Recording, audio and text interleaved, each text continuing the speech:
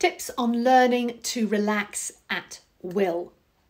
Now, an untrained mother in labour would find it very, very hard, if not impossible, to suddenly relax at will during labour. You know, well-meaning midwives or companions or birth partners would might say to her, you know, try and relax. And you can see the mother bravely tries by making her body appear still and quiet. But that is very, very different from genuinely letting go of all the tension in her body. Now, relaxation sounds relatively easy. You know, we all relax many times every day. However, relaxing at will is something that needs practice in order to achieve the deep kind of relaxation which is so beneficial for birth. And relaxation really is the foundation. Everything else depends on it, everything builds on it. You know, if you are tense during a contraction, the uterus is having to work twice as hard to do the same amount of work as all the other muscles are straining against the uterus, and that's often what makes it so much more painful. Now, the purpose of relaxing at will is to ensure that your body stays totally soft, limp, at ease, allowing the birthing muscles to work unimpeded by any other tension in the body. Now, this set might sound easy, and though it's simple, it's not easy. And initially, it may take a lot of concentration to keep your body completely limp and free of tension. But your ability to relax during contractions will directly correlate to the, the degree of comfort you feel during labour. So, to become skillful at relaxing, you have to become skillful at noticing tension and then actively releasing it. Once you recognize it, then you can release it.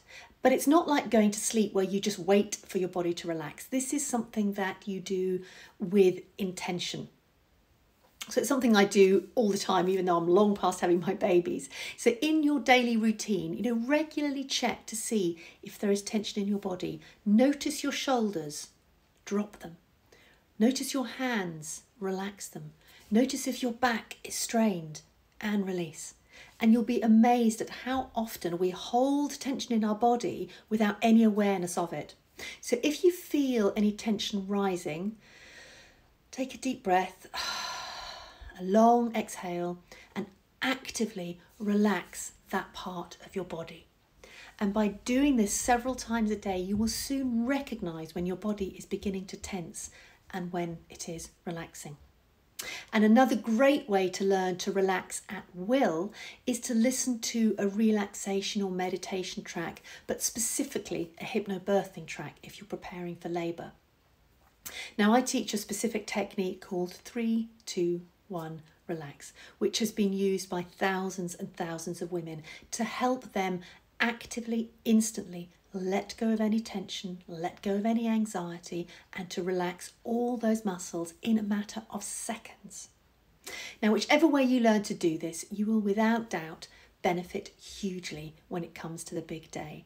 But it's also a skill for life. It's something that I do quite regularly if I'm stressed and tense and I've got a lot on, I would go into the toilet or sit in my car or at my desk and just spend no more than 30 seconds to a minute practicing my three, two, one, relax.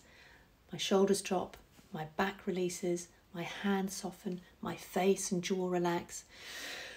Take deep breaths, and it makes the next phase of whatever I'm doing so much easier. So please have a look and start practicing how you can also relearn to re- learn, relearn, learn to relax at will. Take care for now.